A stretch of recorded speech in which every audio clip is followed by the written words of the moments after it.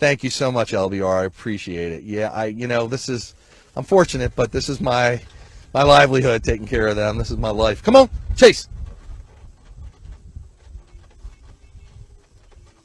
And uh, I know they do sometimes.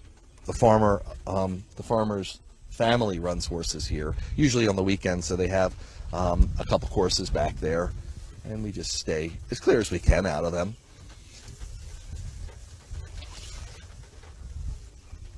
Uh, I wanted to tell you the mileage. So we're at about four miles now.